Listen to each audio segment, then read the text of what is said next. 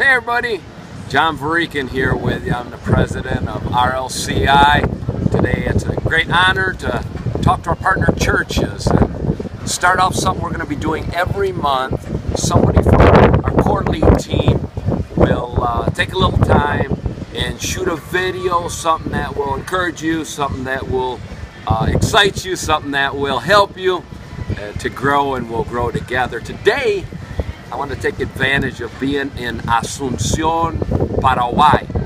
Uh, been here in South America for two weeks, just in Uruguay, and now we're here in Paraguay launching a nationwide leadership project. And uh, something really, really awesome I got to experience uh, two days ago was went to the Itaipu Dam, which most Americans have never heard of it, but it's the largest energy producing dam in the world. It's about uh, seven times bigger than Hoover Dam.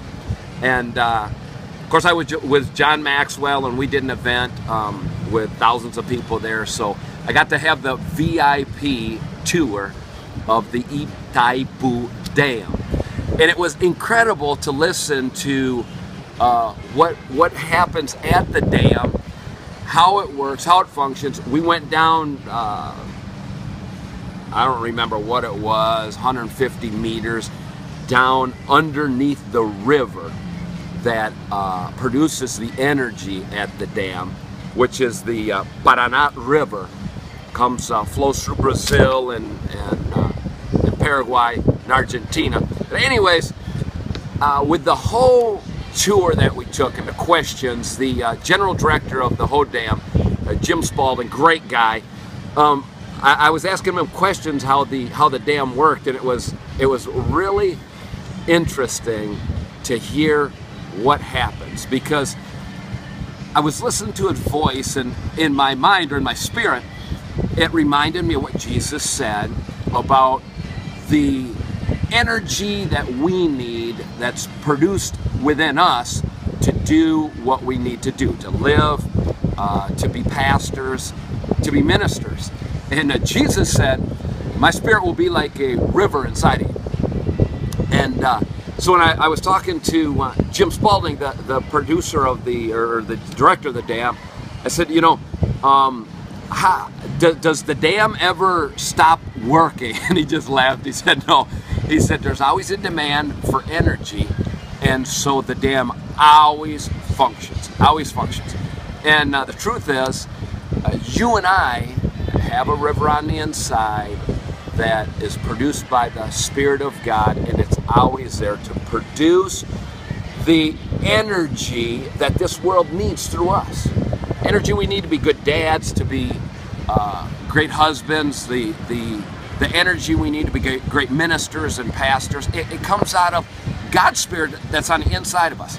And if that and if that river, if you're not drawing that energy from that river, you're, you're trying to draw from something else and it's it just isn't going to produce what it needs. God's given you his river of, of his spirit on the inside, and that's what helps us to be and to do who we need to be and, and what we need to do. Uh, it was funny uh, somebody asked a question and, and they said, you know, how much, uh, how do you know how much uh, production you have to have? He said, we can see ahead of time how much energy needs to be produced. We call upriver to Brazil and have them send the right amount of water for us to produce the energy. I think, I think uh, us as Christians and as pastors, you know, God knows what we need. He knows, he knows the draw that's going to be on our lives.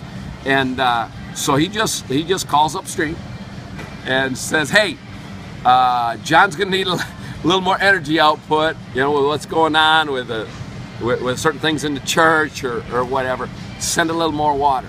And that water just flows and flows and flows, and and it comes into us, through us, out to the people. That's the way you can be a long-term pastor, long-term minister it's by God's river on the inside of you. So my encouragement to you is draw on that river. Draw on that river. Don't don't don't don't allow God's river to be there. Just dam it up. Let it come through. Produce what it needs to produce on the inside of you because he's called us to a lost and dying world. He's called us to be to be great leaders in our churches and and to our people.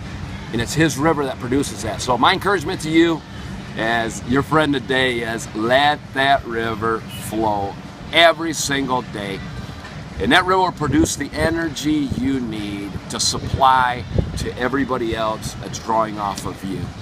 Have a great month this month. Next month, somebody else will be back with you, one of our uh, core lead team uh, leaders, and excited to do ministry together with you. God bless you.